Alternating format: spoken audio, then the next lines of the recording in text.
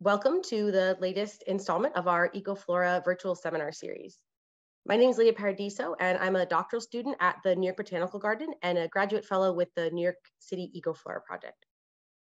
The EcoFlora Project was first started at NYBG back in 2017 with a grant from the Institute of Museum and Library Services. EcoFlora is a community science project that has three main goals. To investigate urban ecosystems and urbanization, to support open source biodiversity data, and to increase understanding and appreciation of plant life. To date, over 30,000 observers have made almost 900,000 observations of plants and uh, their biotic partners in New York City and posted them to iNaturalist. About 60% of these 900,000 are of plants and fungi, while the remaining 40% are organisms like insects and animals that are pollinators, seed dispersers, and more. You can explore those all these observations on our project page on iNaturalist, which I'm going to link in the chat right now. Each month, we also sponsor an EcoQuest challenge, which encourages New Yorkers to observe a particular species, a group of plants, or an interaction, and post those on iNaturalist. Our January EcoQuest is entitled Beginning the Year with Basidiomycetes. Uh, Basidiomycota is a large class of fungi that includes more than 31,000 known species uh, and there's several hundred that have been observed in New York City. Uh, so far this month, we've had uh, 113 observers make 702 observations of at least 108 different species. Uh, and you can also check out those on the project page for that.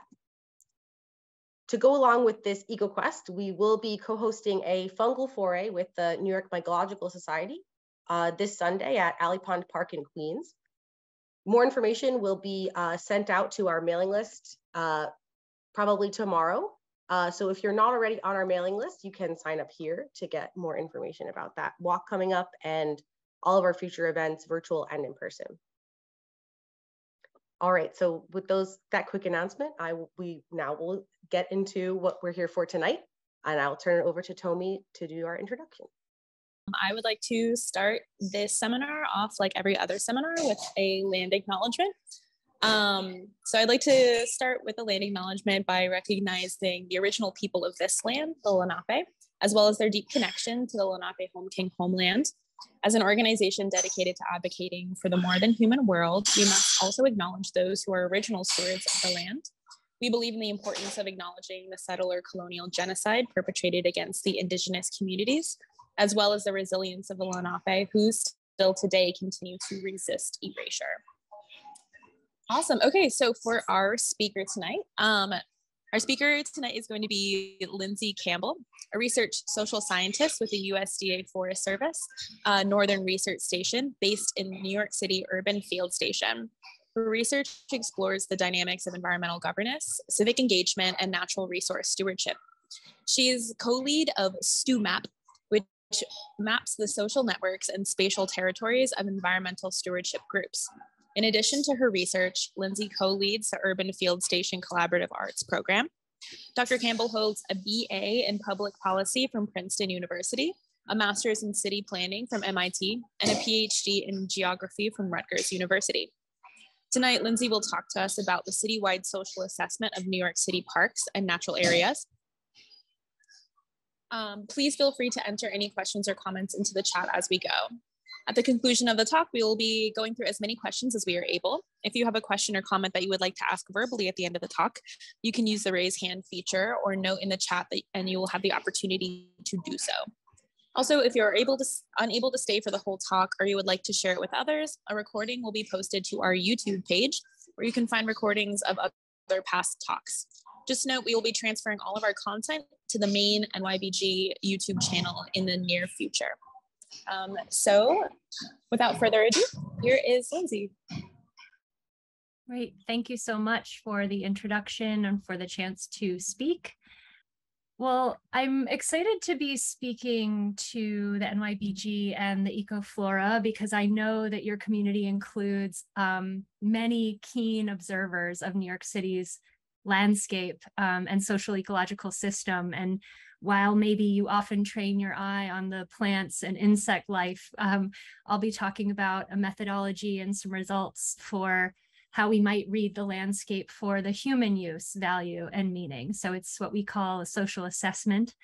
Um, and I'm presenting on behalf of my colleagues and co-authors who are named here. We do very much a team science approach here at the field station. So just really quick, if you haven't heard of the New York City Urban Field Station, uh, we are a partnership between researchers at the US Forest Service, land managers at New York City Parks, um, nonprofits like the Natural Areas Conservancy, but also a wider constellation of universities and stewardship groups citywide.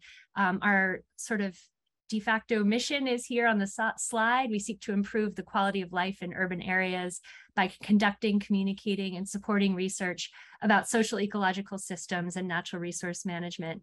And we very much take that system science or ecology of cities sort of approach to the work that we do. You know, we do study green patches, but sort of all the ways in which people and organizations are also critical connectors between those spaces. You can learn more at our website that's there at the bottom. So for the social assessment, I'm just gonna hide some Zoom things so I can see my slides. Um, we had this primary overarching research question. What are the uses, functions, and values of parkland and natural areas? As conveyed through people's behaviors, descriptions, and narratives. Um, so why do a social assessment like this? Well, there are lots of studies about this kind of use um, in a, a more rural setting. We were actually adapting some old tried and true rural recreation methods that existed, but not so many have been applied systematically in an urban setting.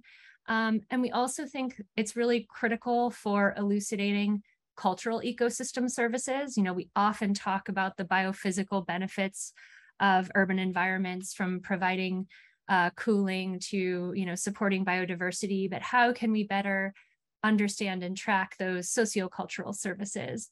And then it can be used to answer really site-specific questions, including um, how parks are used in the context of different demographic shifts, shifts or capital investments or disturbances that arrive it can be used as sort of a baseline that can then be reassessed.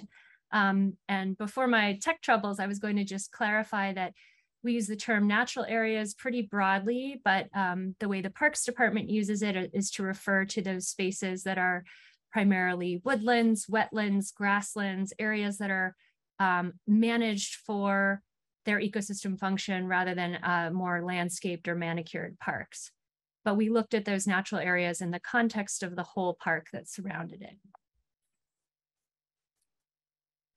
So I just mentioned some of these uses, planning, design, design, and programming.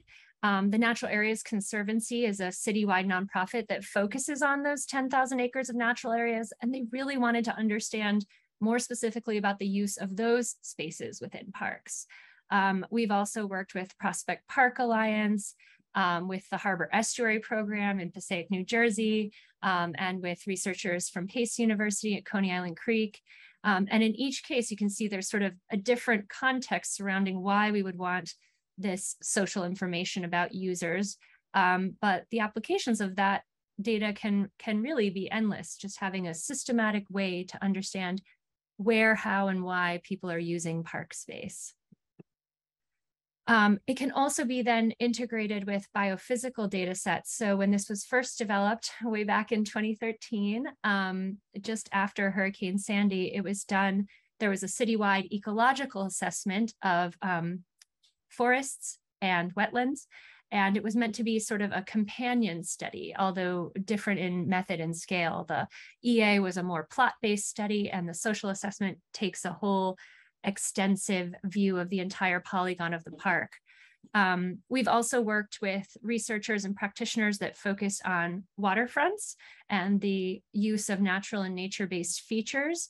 Uh, so that's with folks at the Science and Resilience Institute at Jamaica Bay and, and others at um, New York State to sort of say we need rapid protocols for understanding the ways in which these you know new features that are being put it put in along waterfronts how we can assess their performance. So this social assessment that you'll hear sort of in its uh, kind of full treatment has been narrowed down to a much simpler protocol that is folded into this New York State um, assessment for natural and nature-based features. And I can provide links to all of these after the fact if you want to dig into these various aspects. But for the social assessment itself, so we did uh, 16 parks in 2013, and those were all New York City parks and NPS sites that were adjacent to Jamaica Bay. Um, this was um, post Hurricane Sandy. Those parks were heavily affected, and folks really wanted to understand, you know, the critical social and biophysical uh, services that those spaces were providing. Then in 2014, we took a citywide sample that had parks of various sizes that contained natural areas of various sizes. And then we did, um, we had initially left out Prospect Park and Central Park because those were sort of better understood and studied and managed. But then at the request of Prospect Park Alliance, we we did do the study there in 2016. And just quick sort of stats, um, we observed and counted the activities of more than 37,000 park users. We did rapid on-site interviews with over 1,600 people and our intrepid uh, field researchers you know, pounded the pavement of over 9,500 acres. So this is all um, on-site directly collected social data.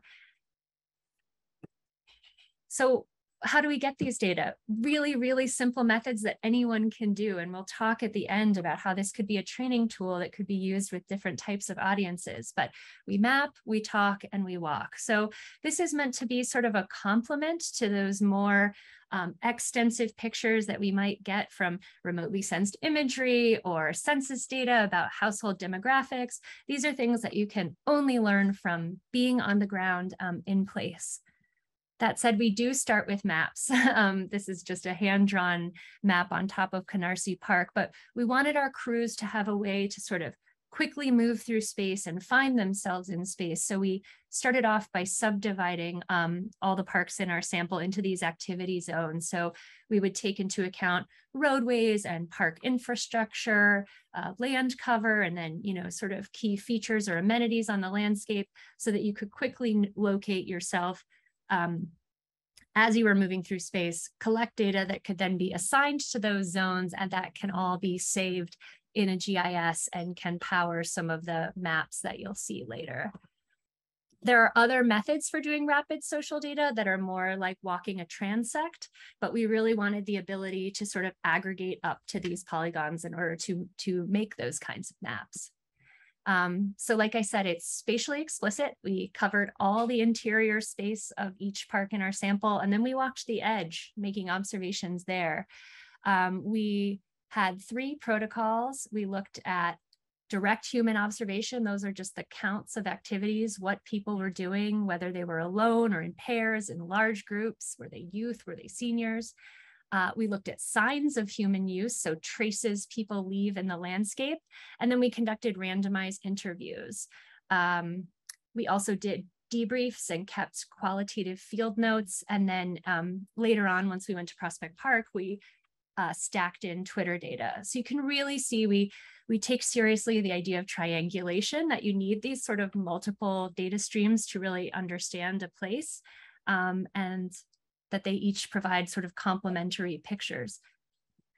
So start with the direct human. Um, this is maybe most similar to the recreational studies you've seen sort of with a clicker or maybe standing at an entrance. Um, but once you've gathered those data in this structured protocol, like I said, you can then um, aggregate up to those zones. So this is a Prospect Park example, just pure counts. Where were people found? And darker areas show where there were more people.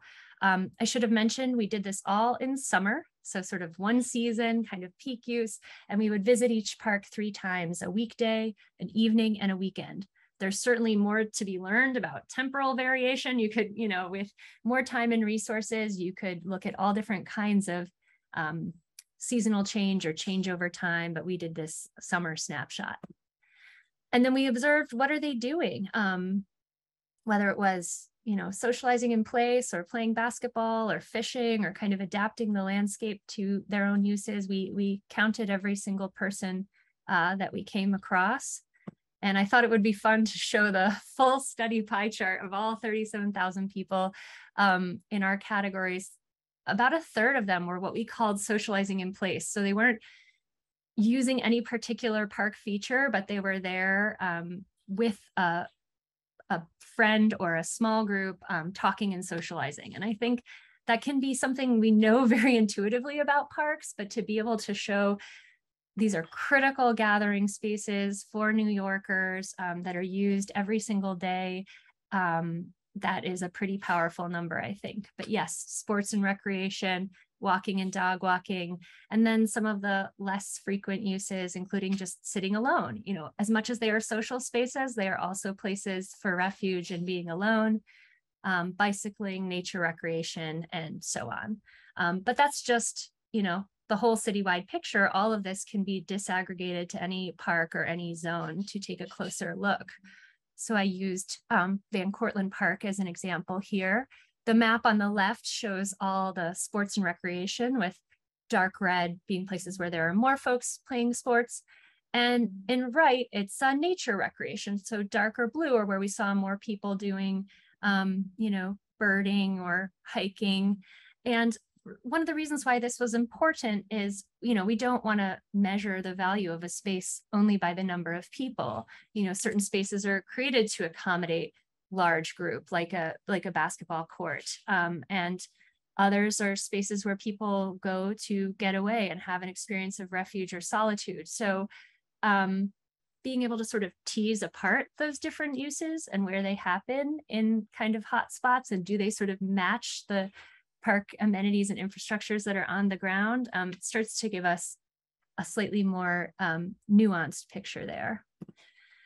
So that was the first protocol, direct human, you know, counting what people do. Um, but like I said, we were only there three times in each park. So we couldn't always sort of, you know, quote unquote, catch people in the act. Um, we have to read the landscape for evidence of what people were doing, whether that was the birders at dawn or people who were there in the night and the public really does shape the landscape these are not only park you know government managed spaces so we looked for we instructed our crews to take photographs of any sort of changes in the landscape that were above and beyond sort of typical park infrastructure so that could include cut throughs and informal trails nature assemblages or memorials um, informal signage you know positive or negative we said sort of like you know remove your own sort of judgment of what you think of these signs and just you know document them photograph count them write a field note um, so these are uh, some examples of that on this slide.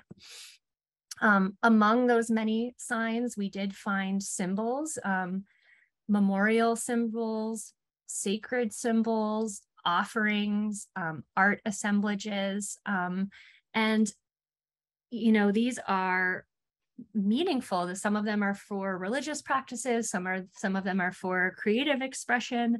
Um, obviously, this requires further triangulation with communities that are using those parks to understand and and interpret the meaning. And sometimes we might we might never be able to discern who left a particular um, offering or assemblage. So uh, we just recognize that this is part of the way that um, park users are not just users, but are sort of co-creators or um, they help shape the landscape uh, to ways that have meaning to them.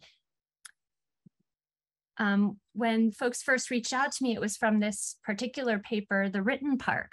So we had our crews take pictures of every single piece of text or writing or signage or flyer that was in a park and from that, we could code it and analyze it like you would any other mm-hmm. text, like a newspaper article. So across 42 parks, we had 784 uniquely photographed signs. and we treated graffiti separately. Um, we coded the messages um, and the speakers in those signs. And then we did um, key informant interviews with expert graffiti writers to help us sort of interpret the graffiti signs themselves.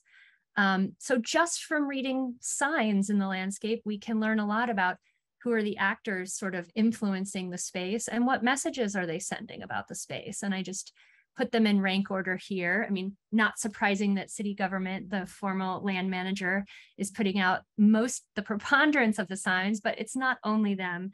Um, we also have civic groups or nonprofits, businesses, individuals, and different layers of government there. Um, the messages, these are from the, the coding of the content, um, like going through them sort of in clusters. A lot of them pertain to public safety or reinforcing particular behaviors or activities that can happen in parks, like cautionary signs, construction signs. Um, others talk about the park as a public sphere, um, where really you have sort of a captive local audience. Sometimes that was advertisements or just notices or messages about public programs. You have educational and environmental signs to give context about local ecologies. There were signs related to remembrances or spiritual expression, memorials, and religious statements. And then there were a number of signs that simply demarcated space or offered place names or helped users navigate through wayfinding. So from that coding, we started to think about, you know, what kind of park subjects are being sort of created or called into being from these messages that are in parks. And we came up with these four that we write about extensively in that paper, but the first is really the ideal park subject. This is how a person is supposed to be in parkland. Um, and it's clearly messaged through the official signs of New York City parks. Um, there are messages about parks as a shared public space intended for recreation with an emphasis on safety and cleanliness. There's a prohibition on amplified sound or commercial activities without a permit. Um, you're not allowed to panhandle or rummage through trash receptacles or do illegal drug or alcohol use. There are always clear closing times in the park. You know, the park is meant to be a daytime space, so you're not meant to sleep or inhabit in the space. Um, and you can see the way all these rules that maybe we've sort of internalized as New Yorkers and park users, but they they set the bounds on what is really acceptable leisure practice or you know user behaviors within a space.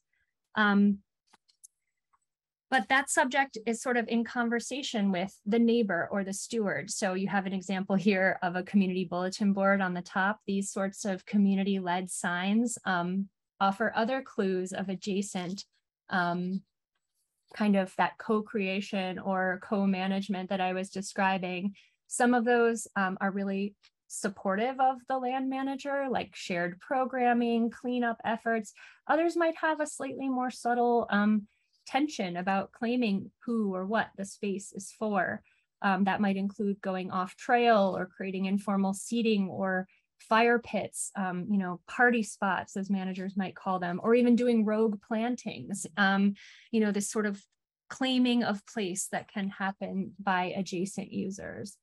Um, graffiti writers, I mentioned, uh, we had these really wonderful interviews with graffiti writers who looked at our, our signs and they said, you know, we see examples of people practicing their craft, seeking notoriety or seeking a place to be left alone. They didn't see evidence of a lot of, you know, um, gang signs or the like. Um, so, you know, officially graffiti is prohibited within New York City parks and often it is removed, but many um, graffiti writers find these, um, you know, more undisturbed locations where they can practice their craft and kind of participate in this collective expression of the graffiti writing community. Um, and the last one that we named free agents um, was really where we saw people seeking out, I mean, refuge, space to be alone, or a quote unquote wilderness experience.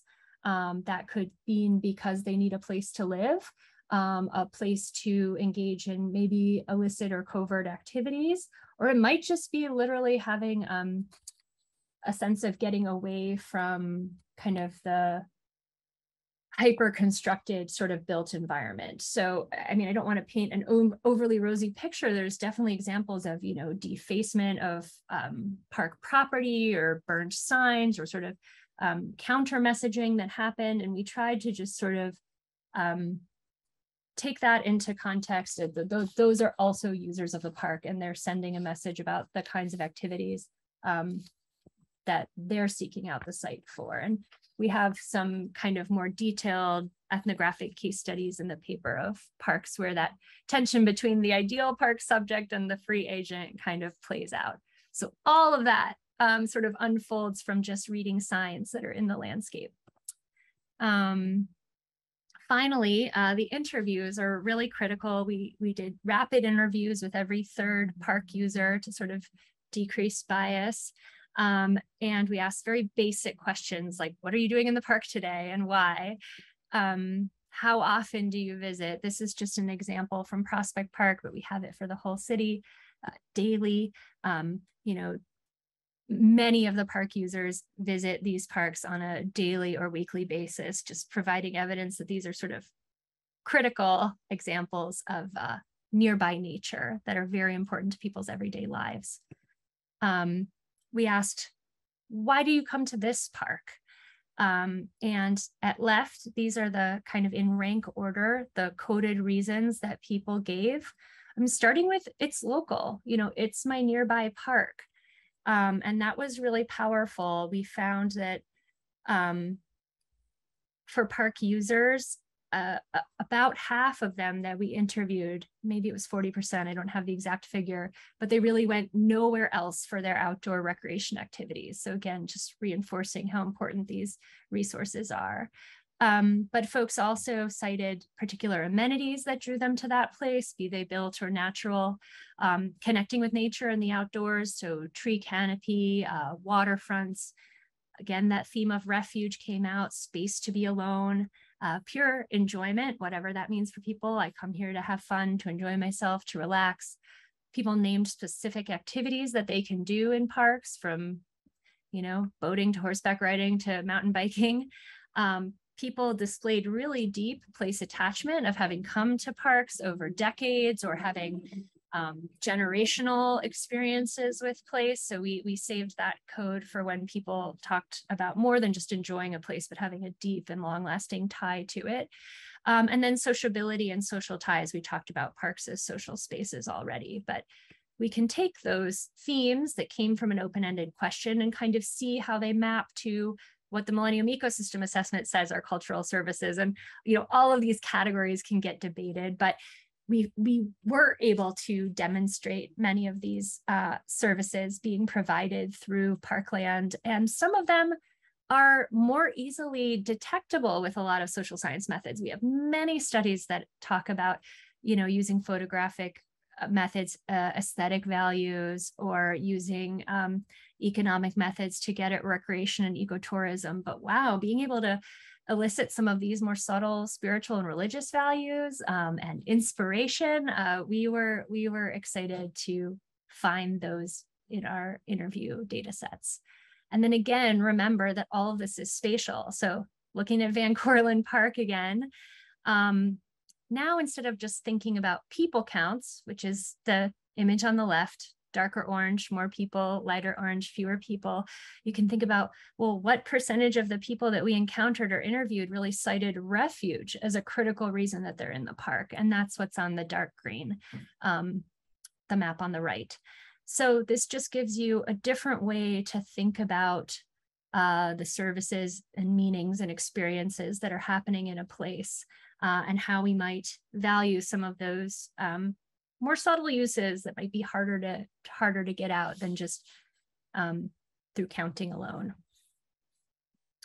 Uh, we also asked, because we were interested in natural areas, wherever we were in the park, we'd say, do you ever go in the woods over there? Or do you ever go in that wetland area? And we'd kind of gesture. And folks would tell us, yes, I do, or no, I don't. And if no, we would um, probe on why not. Um, and we kind of coded that into these different categories. So Nancy Sonti led this article called Fear and Fascination. And, you know, for some people, it's just their preference. People would say things like, the woods are not for me, or I don't want to go in there. I don't like the woods. It doesn't interest me. It has nothing to offer. Um, others gave ambiguous answers. They maybe they weren't even aware that there were forests or wetlands adjacent to where they were. Um, others gave really specific barriers. Um, physical disabilities, age, um, concerns around safety were certainly named. And so um, again, if, if one of the goals of the Natural Areas Conservancy is to connect more people to these nature experiences within New York City parks, we need to understand not only physical access, like, you know, making sure um, parks are equitably distributed and have public transportation, but also, you know, programmatic access and what's going to overcome some of these uh, mental barriers that folks might have. Um, we looked at those differences by gender and found that women were significantly less likely uh, to say they go in natural areas than men. And definitely, you know, stories of gendered violence would persist over time. Um, stories of crime would remain. Like we would hear people talking about parks where they didn't feel safe, um, even though something had happened um, decades ago. And so there are some quotes here from some of our respondents about um, concerns or drivers for why they would want to go in the natural areas. Um, but we found that while women are less likely to visit natural areas, they're more likely to be volunteer environmental stewards. We know that from prior work. And so we think this provides an opportunity for women and families to experience natural areas through stewardship activities that can then build comfort, confidence, and emotional attachment to wild spaces. Um, so we think that provides a really important programmatic inroad, and there certainly are many robust stewardship programs offered by New York City Parks, but the various conservancies and friends of groups that are doing really important work of lessening those barriers for folks. Um, we also asked if people are involved in those kinds of groups, those groups that help take care of the environment. Um, and most were not, which is, you know, not unexpected. Um, you know, this is a volunteer sort of leisure practice of civic environmentalism. But the slice of this pie that sort of interested us a lot also was the no but. Um, again, this is an example from Prospect Park, but it could be anywhere. Toggling back to um, citywide, we took those no buts and we coded all the reasons people gave us why they didn't participate um, in environmental stewardship and what other forms of engagement they participated in. Um, so the cluster that's at the top in green are folks who said, well, I don't do stewardship, but you know, I'm involved, or I don't do civic stewardship, but I'm involved through my work. You know, I work for the Department of Environmental Protection or the EPA, or I'm not a part of a group, but I always bag my trash and I clean up after myself and my fishing lines. Or the environment's not my thing, but I'm really involved with my church or I have these kinds of pro environmental behaviors that I do at home on my own time, whether it's recycling or other kinds of practices. And so those are all folks who are maybe really proximate to possible potential stewards. Then you have the folks in the middle um, in blue who sort of said, um, Oh, I used to, but I don't anymore. Or they were sort of self critical. Gosh, I should. I feel guilty. All the way to people who said, I have no idea that that was even something I could be involved in. Um, so those are folks that might um, need a little more outreach or information or opportunities for getting involved. And then there are others who just said, you know, I have physical barriers, life course, those kinds of things that are immovable, or I just simply don't have time. And just recognizing that not everyone's in the same place in their in their life course, um, in their ability to volunteer, but being able to kind of tease apart um, folks' readiness or interest or desire to engage. Um, I think these are helpful nuance beyond just the engaged, the non-engaged. Um, I'm wrapping up soon so you can have some time for discussion, but I mentioned um, Twitter, you know, all this data was collected on the ground, but how could we triangulate it with things that people are saying um, in social media? Um, and so for Prospect Park, we grabbed all the tweets that um, were geo-referenced within the Prospect Park boundary or that used, you know, the handle or hashtag Prospect Park. And um, we did a similar sort of manual coding process to what we did with the um, physical signs we detected in the site. So we were able to code those for aesthetic values, recreation, spiritual values, and social relations. And then similarly, tease that apart by space. And that's work that my colleague Michelle Johnson led. So as more and more of these kinds of big data and social media enabled approaches are happening in social science, it's helpful to be able to compare and contrast them with these um, on the ground types of data sets as well. So um, this is that category of refuge uh, emerging for Prospect Park the social space. Darker colors always indicate um, mm. more folks talking about it.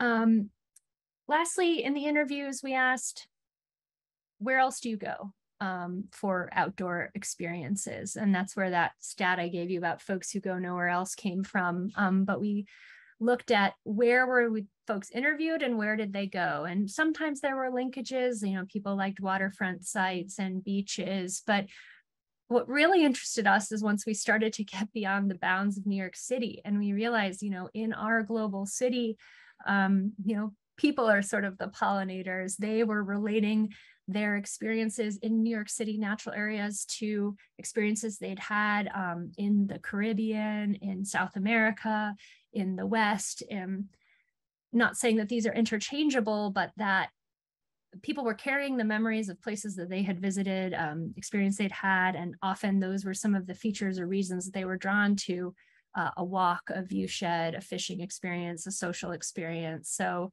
um, it's helpful that we're managing these places as you know local assets, but understanding that we have really a global community of users who um, expect and hope for different kinds of experiences in their in their parks and natural areas.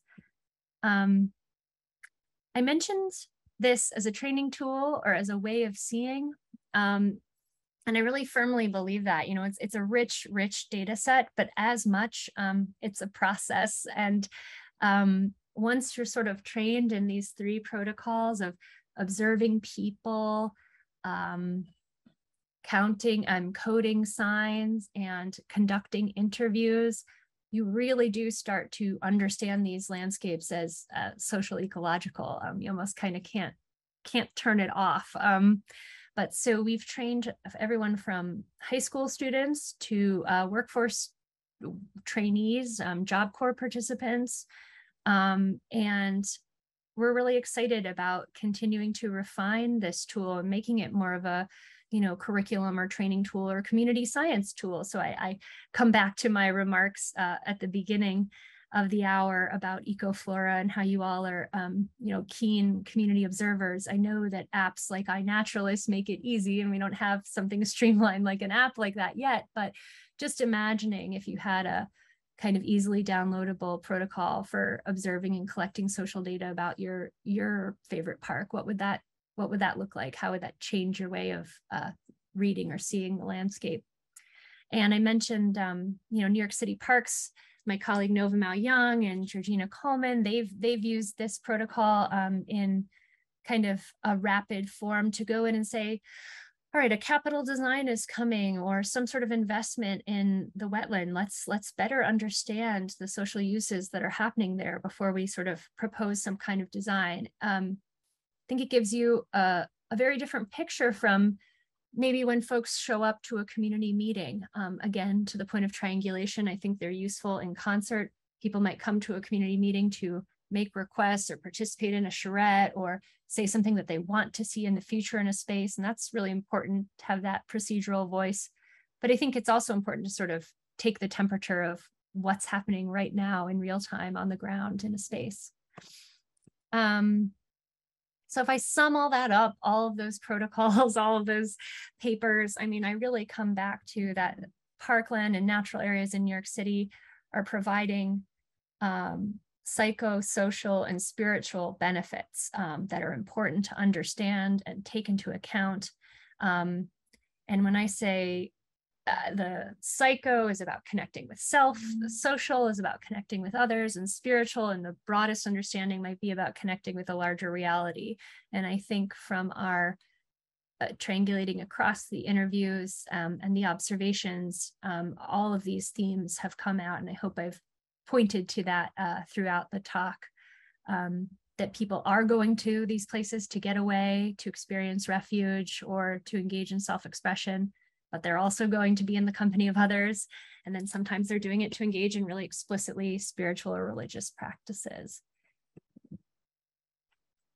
So we have many, many lessons learned, but I'll sum up just a few. Um, obviously, um, parks are heterogeneous, you know, in their shape, size, structure, management, and ecology, you know, from those programmed recreation areas to um, very narrow sort of linear parks to expansive natural areas. Um, parks can be democratic, but they can also be contentious. You know, people have different expectations and perceptions and values about who or what parks should be for. Um, and, you know, let's not shy away from that contention. Maybe it's a space to lean into and try and better understand and unpack um, for park managers. we also, one of our crew members uh, said, people have mad love for parks. Just, you know, it, it was really a, a, joy to collect these data and read the debrief notes that how much um, love and care people have for these spaces, whether it's the form of, you know, formal civic groups or individual stewardship or people sort of, you know, tending plants on the edges. Um, people really feel ownership and connection to these spaces. Um, there's also an informal parks economy. And, you know, all of this was done, I should have said at the outset, before the COVID-19 pandemic, where, you know, this just sort of need to have space to do sort of everything in our public lives. But even then, we um, observed caregivers, dog walkers, um, outdoor classes, camps, you know, um, these are not just uh, recreational spaces. People are making livelihoods um, in these parks. So they're doing a lot of work. Um, and the public does engineer, you know, as much as parks has the official um, management jurisdiction for these spaces, people uh, shape the space as well through their desire lines, through shaping bike ramps, um, to graffiti, to constructing art assemblages. Um, and I mentioned several times um, the importance of nearby nature, but also everyday ecology. We found people having deep uh, local ecological knowledge. People would sometimes these rapid interviews would turn into long interviews where people would tell us about horseshoe crabs or favorite birds or um, you know patterns that they had observed. Um, and we've already talked about parks as refuge. So I hope that um, this has given you sort of a walkthrough of this method and some of our findings. I have links to all of the papers at the end of the talk that I can share around. And um, I thank you for your attention. I think we have some time for discussion. Awesome. Thank you so much, Lindsay.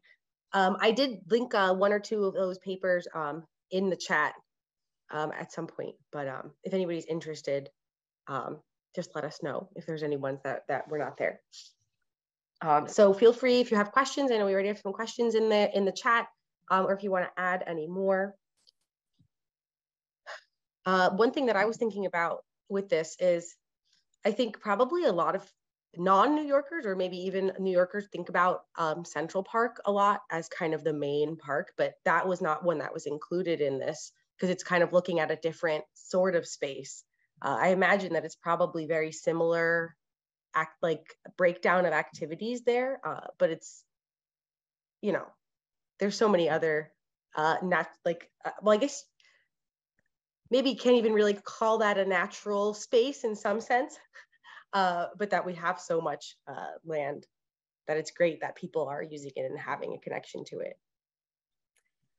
Yeah, I mean, on one hand, you know, it was a tough choice to not do Central Park. It would have been nice to have that as sort of a reference or comparison site in the study, but you know, with with limited resource and field staff, we focused on other places. There had been some studies, uh, the sort of clicker type studies that um, Central Parks Conservancy had funded um, earlier. Uh, I forget the year. So we felt like they had a little bit of a handle um, on their on their user base, but um, we are talking with the Parks Department and the NAC about possible remeasurement or a restudy and what would that citywide sample look like. You know, there's no reason we had to exclude Central Park, but I have used Central Park to do trainings like with CUNY students and for example, and I would always go in sort of uh, skeptical, like, oh, it's so manicured, it's so maintained, we're not going to find like any signs. But, you know, once you're sort of trained in the method, like I said, you learn to look at the back of lampposts or pay attention to um, footpaths. Like there are subtle ways in which users sort of shape that space as well. Um, so it really is a way of seeing. And obviously, there's more sort of uh, natural areas like the North Woods within Central Park as well. So we very well could have studied that that space. I see, Daniel, you have your hand raised. If you would like to uh, ask, go ahead and unmute yourself. You can. Thanks. Um, hey, Lindsay. Uh, I uh, I also put this in the chat, but I uh, I work for the Parks Department as an urban park ranger, uh, currently in the Bronx, and uh, I thought the Van Cortlandt uh, data and the way it was presented was really interesting, and it does show how the management of the park um, can be altered, but also how it's working in some, in lots of cases. But my question was, did you consider or were they included in park users of parks staff? And I think it's an important part. Uh, we teach a lot of our lessons are place-based, and we include people, uh, people, and place and parks, big P parks, meaning the manager, the people that manage the park. So yeah. yeah, my question is staff was staff included or could it be? Yeah, for the um, observations, we had a category just for working. And so that could include anyone like a park worker, but it also included vendors. So we did count folks who were formally working. We did have a separate category for um, educational tours, like so when we would notice large groups or, you know, um, we always counted individuals, pairs, small groups, and large groups. And then we could compare that with the activities, and educational tours was one of them. But we did kind of informal interviews with a handful of park managers about, you know, kind of validating our findings and checking in on some of the inquiries that were emerging, but we didn't do like a systematic interview protocol with park managers. I think it's one of the pieces that sort of got cut in the implementation. And I think it adds a like huge asset. Like when we did Inwood Park, we had a special um, kind of grant for that where we did four seasons.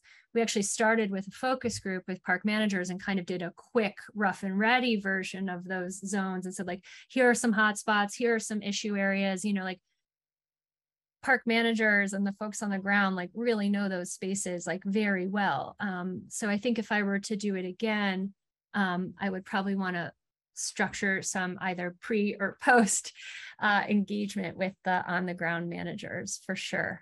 Um, they have a lot of insights. And speaking of, we did have a comment here um, from Joy about other on the ground educators that give tours or workshops in the parks on a regular basis. And one of those is the um, park rangers and other kinds of uh, people that are in parks. There are, it's, it's the website can be a little bit hard to to wade through because there's so many events but if you go on the nyc parks website um, they they have tons and tons of um, activities that are going on during the week on the weekends um, that are really awesome to get involved in yeah urban park rangers and then you know the new york city park stewardship team is the one responsible for a lot of the um, hands-on kinds of activities which can happen you know not only in parks, they also have a whole street tree um, stewardship team. And then, you know, not every park has a Friends of group or a conservancy, but many do. And those add additional um, programming and opportunities for the public to get engaged. So I would always look for what, what is parks doing and what are some of the nonprofits and community-based groups adjacent sort of doing as well. So we've got another uh, question here from Evan. Uh, did you notice any differences between the parks uh, that are in different socioeconomic settings or backgrounds? Well, um, you know, the, the sample, you know, the natural, the large parks that have large natural areas, they're not like evenly distributed across um, space in New York City. More of them are um, outer borough, kind of further towards the margins of of the city. So I'm always sort of cautious about saying like what what is the it's not the same as a study of neighborhood pocket parks that might be sort of everywhere. Um, and the sample that we pulled citywide was not meant to sort of stratify by neighborhood demographics or anything like that. We were really just looking at park size. We wanted large and small parks and what percentage of it is natural area. So I'm just cautious about um, over extrapolating. Um, another sort of limitation of the early social assessment was we really didn't collect hardly any demographic data, just um, coarse age categories and uh, gender.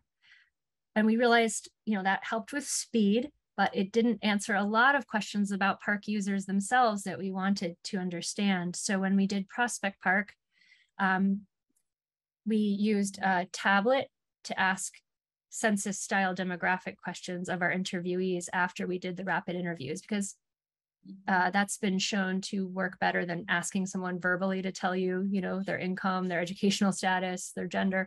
You just did the rapid interview, tried to establish rapport, talked about what they were doing in the park, and then let them fill out the tablet. Um, and so I think in any remeasurement, we would we would do something like that again. Um, so I'm, sure I, when you're designing things like this too, it's like impossible to know from the get-go like what you mm-hmm. want to exactly get, and then sometimes it's too late.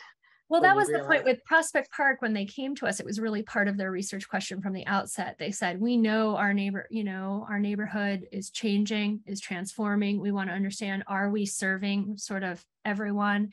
Do we have like an east-west divide within Prospect Park? Like, who are the users in these different spaces?" So you know this is very applied research and that that interest or question like came from the manager themselves um, and so that was important to us. Um,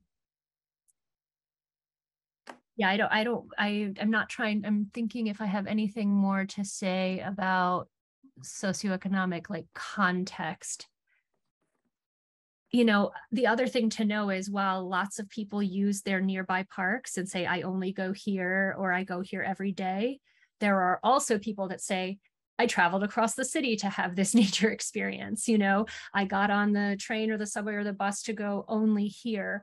So again, the, the Pelham Bays, the Inwood Parks, like some of these are are parks that are serving a whole sort of citywide or even region-wide user base.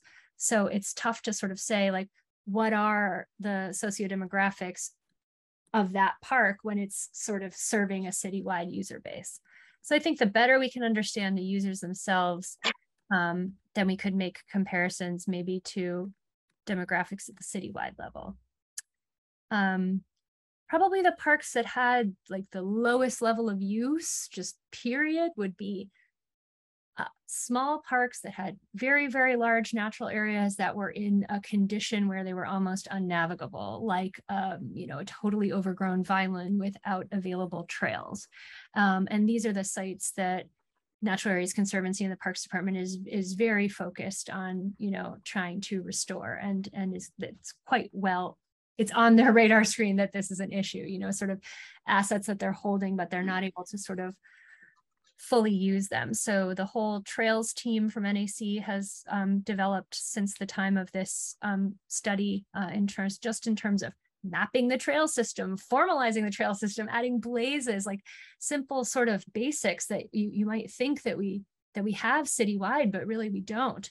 Um, so there's there's a ton that can be done to help both with physical access, like I was saying, trail systems, entry points, but also programmatic access multilingual um, outreach. Um, I want to give a shout out. The park stewardship team has a green communities program where they really try and target um, underserved communities where they've historically had lower engagement. So I do think this um, equity mindset is is really top of mind for parks and NAC of wanting these resources to be used and accessed by all New Yorkers.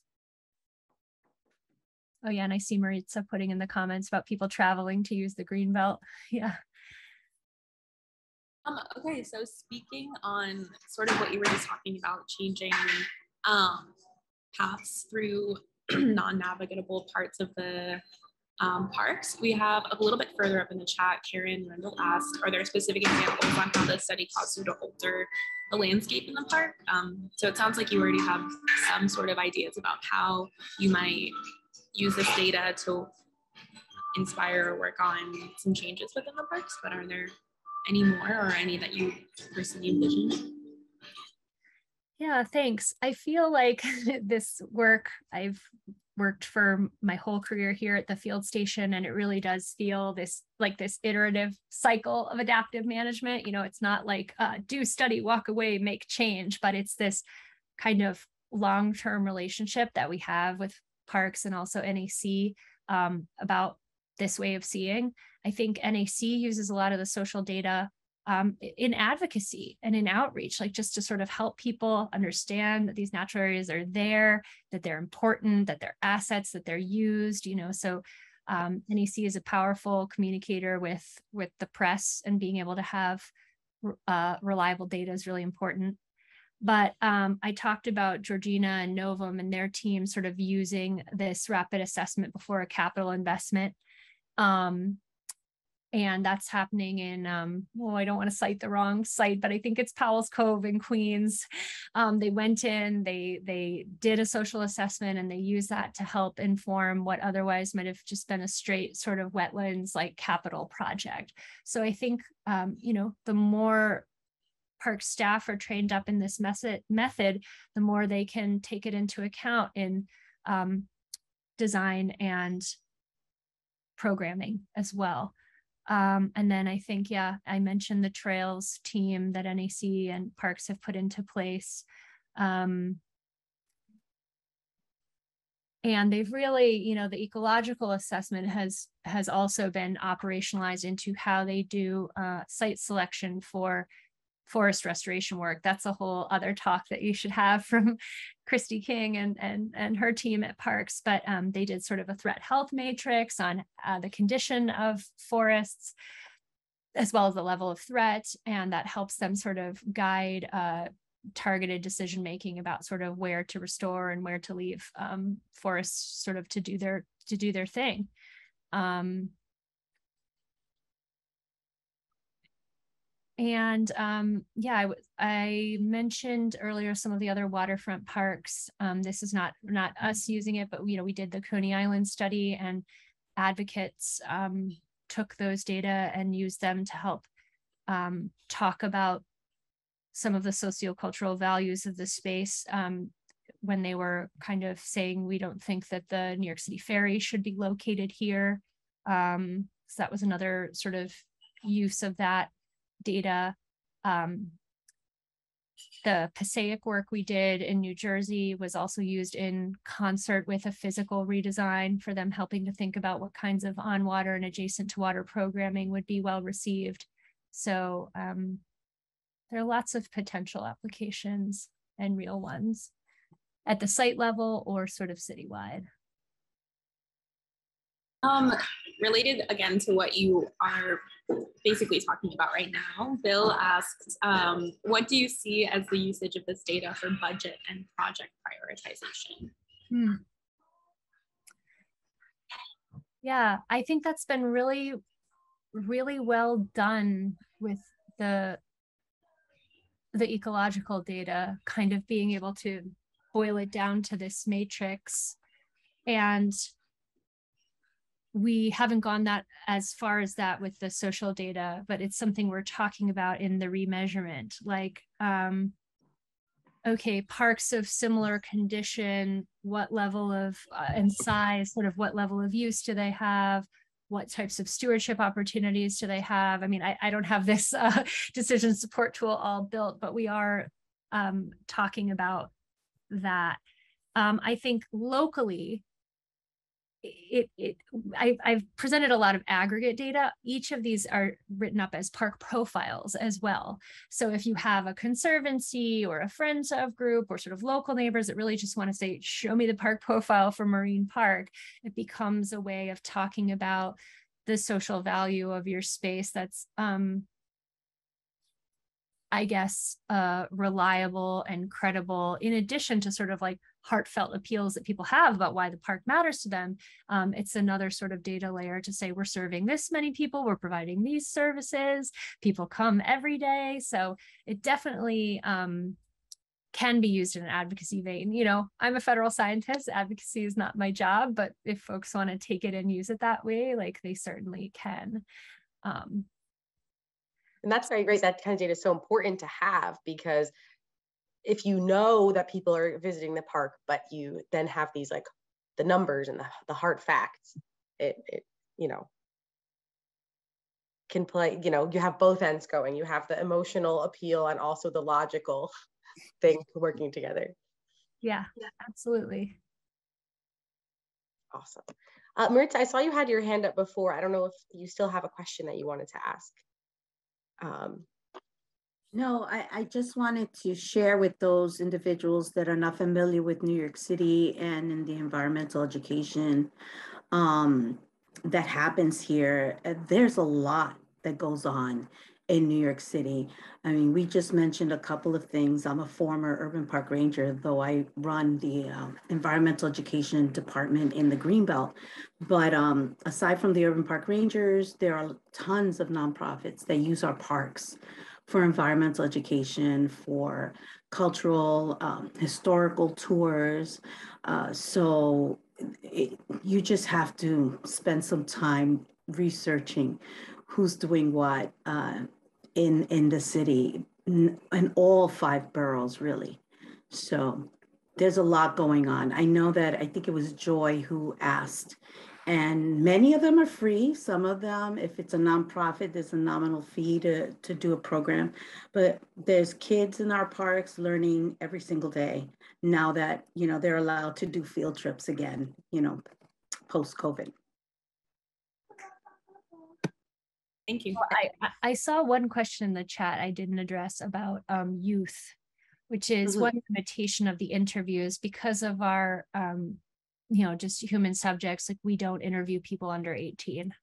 So we don't have interviews with youth. We just have the observations of what they were doing. But um, we certainly would talk to caregivers um, and parents and um, they would often share the perspective of why they were in the park if they were there with their kids or even if they weren't there at the time people would share stories of their kids being the ones that led them to this particular park for example.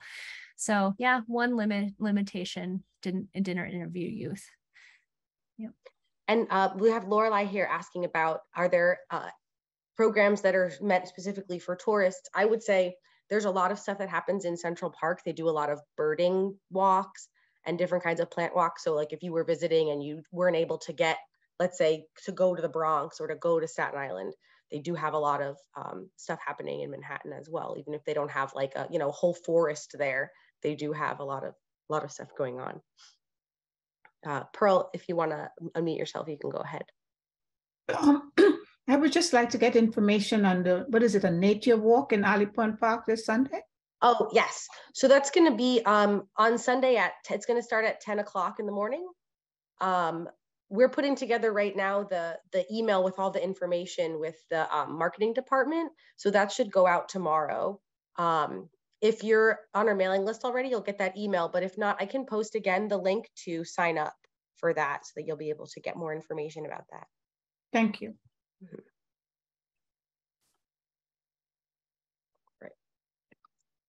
And actually, we have one more uh, comment that was up a little bit higher. That's an interesting uh, kind of comment um, about people that don't go visit the parks. How do you engage the people that don't visit the parks? And I guess that's a whole chunk of people that aren't represented in the study because they weren't there.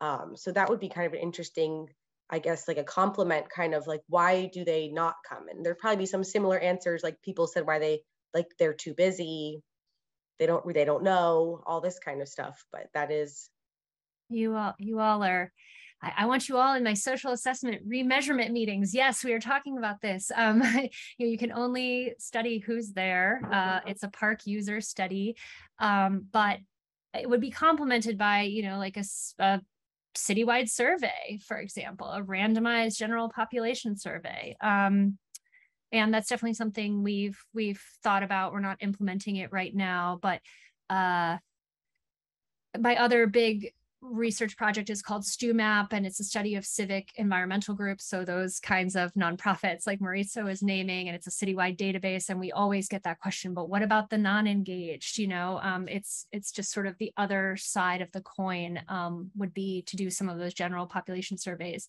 I did do work like that. Um, uh, we did a population general population survey in Staten Island in concert with the folks involved with the Fresh Kills landfill transformation because um, they felt like they were hearing a lot from folks in public meetings. They wanted to better understand um, folks across the island citywide. So, you know, we did sort of three band, three distance bands from that park and did um, an island wide survey. And there's a bunch of articles like that. Um, we just haven't done it New York City wide yet, but definitely would yield a lot of rich information about both who is using the park and also what barriers they experience and how that varies um, by neighborhood and any number of categories of interest. There's always always more that can be done, uh, but it's very exciting. Um, oh, sorry, my cat is biting me.